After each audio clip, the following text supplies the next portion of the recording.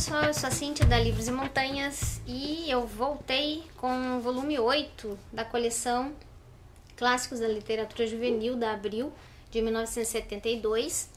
É, esse volume 8 traz David Copperfield do Charles Dickens. É uma adaptação, né? Não é a história toda. É, esse livro tem 200 e pouquinhas, 239 páginas. O original tem mais de 700, pra vocês terem uma ideia. Então ele foi recontado por Oswaldo Waddington Jr. e as ilustrações são de Lila Figueiredo. Então vou mostrar algumas das ilustrações para vocês. Foi feito a nanquim, se eu não me engano. Tem umas ilustrações bem legaisinhas. Vamos ver aqui mais. Ah, a Jenny Moonstone. Não gosto dessa mulher. Oh, meu Deus. Aqui. A, a figura que mostra a mãe do David e a tia, e a tia Betsy. Bem legalzinho. Então tem várias, várias ilustrações interessantes. Esse aqui é o David na escola. é. Bom, essa edição vai trazer uma história magnífica do Charles Dickens. Eu fiquei bastante curiosa, gostaria muito de ler a versão é, integral, que deve ter bastante coisa a mais, porque aqui nesse livro ele não desenvolve as tramas secundárias. Como esses livros de época, né, do século XIX, muitos desses autores costumavam fazer histórias com muitos personagens. Tinha um personagem principal e várias tramas secundárias. É o que acontece com David Copperfield. E a história começa com Clara, Clara Copperfield, que é a mãe do David, é, grávida. Ela tinha perdido o marido fazia seis meses, estava quase para ter um neném. E ela morava sozinha, junto com a governanta, que também chamava Clara, por isso todo mundo chama ela de Pegote, né, que é o sobrenome dela. E elas viviam sozinhas na, na mansão. E Clara estava para ter um bebê, então a, a irmã do marido dela, a tia Betsy, apareceu, né, para ajudar. É... Só que a esperança da, da tia Betsy é que nascesse uma menina, que ela queria colocar o nome de Betsy, ser a madrinha e tal. E quando David nasceu, quando nasceu um menino, ela ficou indignada. e resolveu abandonar a, a, a, a, Clara com o filho falou que não queria saber deles nunca mais. Né? Porque ela queria uma menina e, e nasceu um menino, né? Mas David é, viveu até os seus sete anos uma vida tranquila, bastante amorosa. A mãe dele gostava muito dele, tratava ele com muito carinho. Até que, aos sete anos, a Clara resolveu se casar novamente. Que ela achava que precisava de um marido para ajudar ela e tal, até mesmo para dar um pai pro, pro, pro David. E aí que começa a tristeza do pobre David. Porque Clara se casa com Edward Murdstone e ele tem uma irmã horrorosa, horrível, ou mulher horrível. Nossa, que mulher insuportável. Chamada Jane Murdstone. E eles passam a infernizar a vida do guri, coitado, né?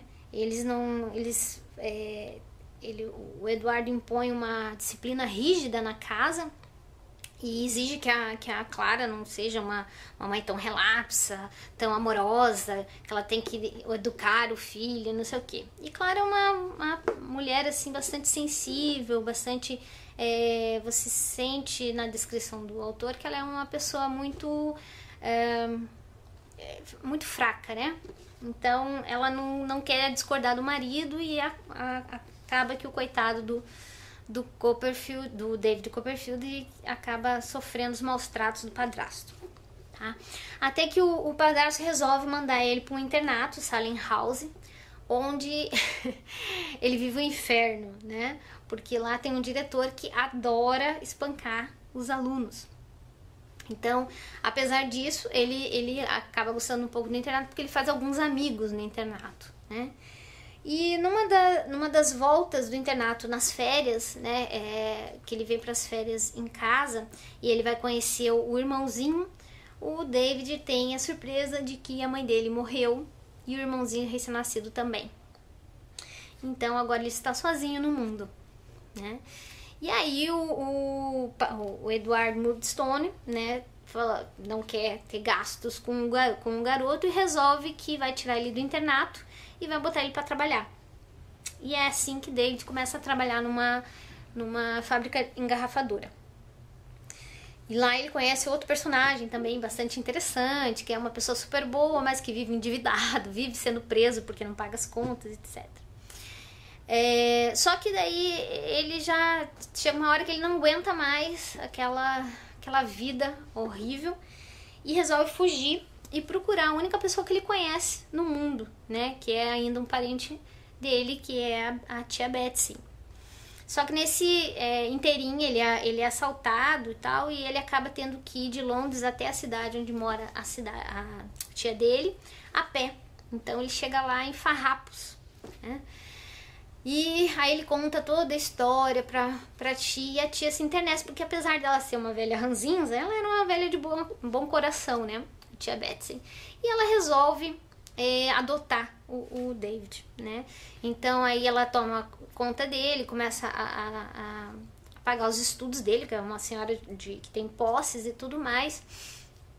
E aí o, o David vai para volta a Londres para estudar, trabalhar num, num, num, cartório e tal. E ele, é, lá ele conhece também um, a Agnes, que passa a ser a melhor amiga dele, né?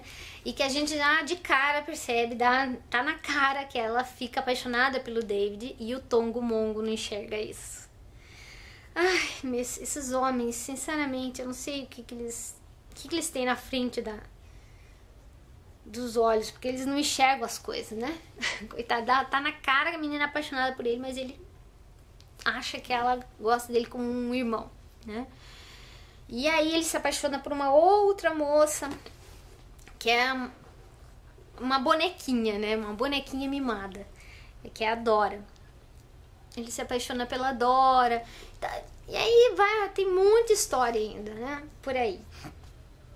Então, é, é é engraçado que eu contei um monte da história, mas ainda tem muita coisa para rolar. Então, é, ele tem, tem o vilão da história que vai vai é, vai começar a trabalhar no, no, no, escritório de advocacia do, do pai da Agnes, e daí vai enganar o pai da Agnes, vai roubar, e aí vai acontecer um monte de coisa né? Então é uma história bem complexa e muito interessante, né?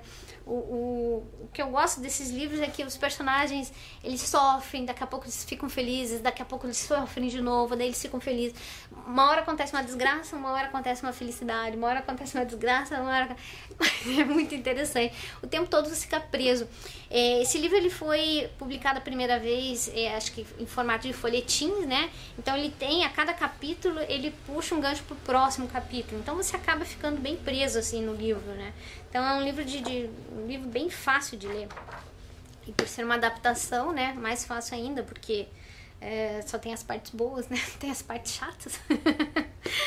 Mas eu gostaria muito de ler uma, uma versão uma versão integral desse livro, né? de Charles Dickens. Charles Dickens é um excelente escritor, ele escreve de maneira impecável, muito bom mesmo. Então, é, essa é a dica né, desse volume, é o oitavo volume da, da coleção David Copperfield, do Charles Dickens, tá? Esse é um livro também que tem muito de, de autobiografia nele, porque tem muitas características do David Copperfield que se encaixam na biografia do, do próprio autor. Inclusive, o David Copperfield, ele, ele começa a escrever é, alguns, alguns é, textos e começa a publicar romances e se torna um, um escritor de, de sucesso no livro, né? Então tem muita história aqui, muito legal, recomendadíssimo esse clássico da literatura juvenil, ok? Então é isso. Um grande abraço e até o próximo vídeo.